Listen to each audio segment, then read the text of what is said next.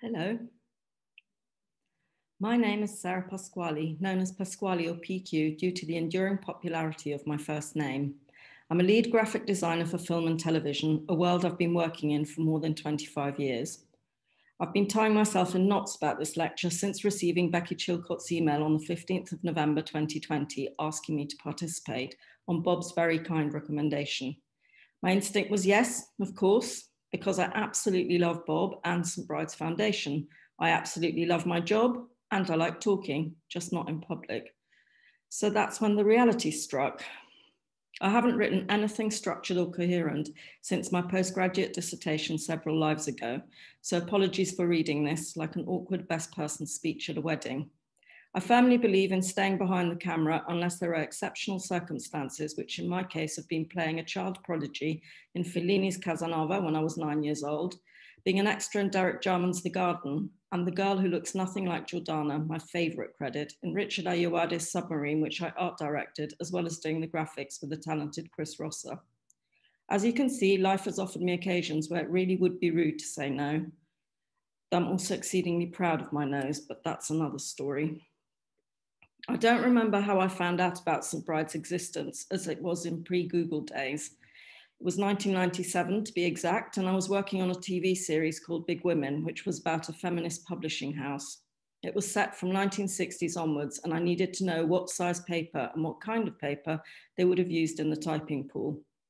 I distinctly remember telephoning St. Bride's on a landline, and a cheerful voice at the other end, without needing to look it up, informed me that in the UK, the paper would have been foolscap folio, which measures 8 inches by 13 inches, and that it was used till the 1980s.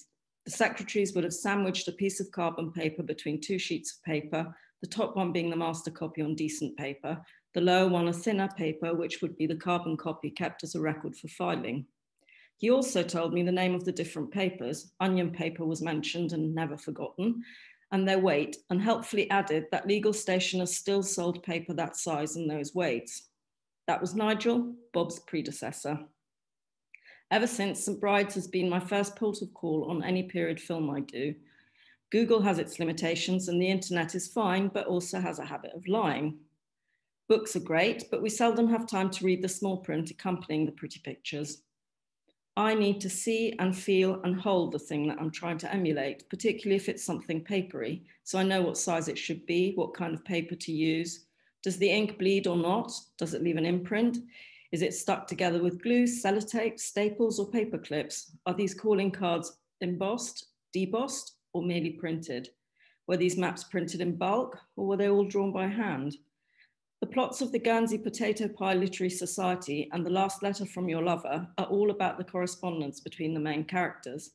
Handwriting in the 40s looks quite different from someone's handwriting now and changes from one country to the other. And I mean handwriting, not calligraphy, which is a different kind of skill.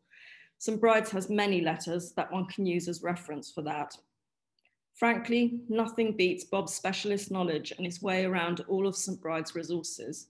There are myriads of books and periodicals about printing, typography, newspaper design, and papermaking, about printed, written, carved, and cast words, and a great deal of the related equipment so that Bob can explain and illustrate how something is achieved. This too helps me work out how to make the graphic prop authentic and believable. When you handle these previous, these precious treasures, you find you have even more questions, which Bob invariably is able to answer. The title of this lecture is inspired by St. Bride's, which I am, but it also makes me an imposter. I'm not inspired. I literally cannot do my job without the institutions like St. Bride's. Explaining my work explains why. MinaLima, through their work on the Harry Potter films and Annie Atkins, thanks to Wes Anderson's The Grand Budapest Hotel, have brought attention and shed light on graphic design in film and television, though people outside the industry seldom know about the minutiae of this role. At the risk of being patronizing, because we may know this already, all the places you see in films and television programs are created by the art department and set decorating teams. Sometimes we build the sets, other times we find suitable locations, but very rarely do we shoot places as we find them. We time travel flats and houses into places from different centuries. We turn spaces into police stations, hospitals, books, bookshops, supermarkets, restaurants, and bars. We turn Liverpool into New York, Greenwich into Moscow. It's about creating a believable, authentic world in which the story the script tells can take place. The graphics we produce are part of that. In simple terms, any words that are visible that have been provided by the graphic design department, quite often a department of one.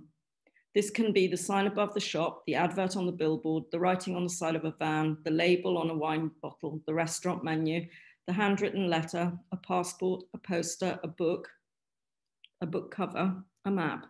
And we're obsessive about detail. The successful graphic is what I call a wallflower graphic. It's there subliminally setting the tone and driving the story forward without being noticed, other than subconsciously. It should be exactly as it should be. If it isn't, I haven't done it right. Often we have to simplify the graphics so that the audience can read and understand the content in the under a minute the camera focuses on it or sweeps past it. We make a judgment call on how much or how little we leave in. Or if it's something handled by the actors, we call it an action graphic, which should also help the actors themselves immerse themselves in the world they're making the audience believe. A common action graphic in contemporary projects are cell phones and computers. Those tap text conversations and typed documents on screen don't happen for real. They're carefully planned, timed interactive animations so that the actors can concentrate on acting and not the action. I find these particular screen graphics challenging, but I have a secret weapon, the brilliant Richard Oldfield at CompuHire. Sometimes we design decorative elements without words, such as wallpaper or tiles, or floor covering, such as lino or carpet, particularly for period films because the originals no longer exist except in a reference book or photograph. Once we've read the script, the first thing we do is to start our research, and we need a fast track to becoming erudite experts on whatever the script requires.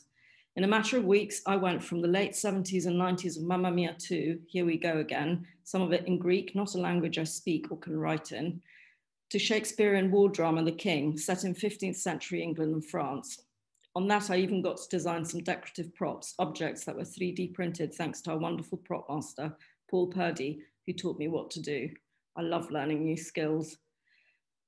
Well, here is a somewhat eclectic selection of my work to better illustrate all that I have said thus far. Some of it is by other people's fair hand as I work within a team, most often with the talented Kelly Waugh and Georgina Millett, and our amazing assistants, Sarah Bradley and Francesca Bennell. We also outsource to other talents. This is a map that we made for Alice Through the Looking Glass. This is one that we made for the King, Mamma Mia 2. I got obsessed with putting the chapel detail in, though you can see from the photograph of the set that we'll never see it. This is dressing for the King, the ivory boxes are the 3D printed objects I learned to draw. This shows some calligraphy for one of the things we made and one of five decorative banners embroidered in India that never got used. Tapestries, many, many, many flags. These are two London street signs for Paddington 2. I have bought Alistair Hall's book, London Signs for future reference. This was turning Liverpool into New York for Florence Foster Jenkins with a street sign, number plate, and the cost of a taxi ride in American cents. These are menus from Paddington 2, Mamma Mia 2, and The End of the Fucking World 2. I love this one because I got to draw the amazing cafe for the front cover. The excellent designer Dick Lunn designed and built this in the middle of nowhere, somewhere in Wales. This is a newspaper from Paddington forwarding the plot, and here's one from the two popes. Florence Foster Jenkins is my favourite job ever, designed by the amazing Alan MacDonald, one of the most talented and lovely humans I've ever met. Here's some posters from it, a programme, a letter written by Florence, so we had to imitate the real Florence's writing. And then the other letter is forwarding the plot in Paddington 2. Um, Max Perkins, Colin Firth's character and Genius, marking up a manuscript, an action prop with many repeats. We also make dressing for people's wallets and pockets, which will probably never get seen. And also we make rubbish for the rubbish bins, especially when it's a period film. These are medicines for the pharmacy in the end of the fucking world too. For the Guernsey potato pie, we had to reproduce Foyles's bookshop. So we produced all these book covers in a couple of days. Last notice boards, my pet hate, along with hospitals and police stations, which are also full of notice boards. Last but not least, wrapping paper for Florence Foster Jenkins. If you want to see more of what I do, I will be launching a website soon, pasqualigraphics.com. My Instagram is Pasquali Graphics. Thank you so much for listening and watching.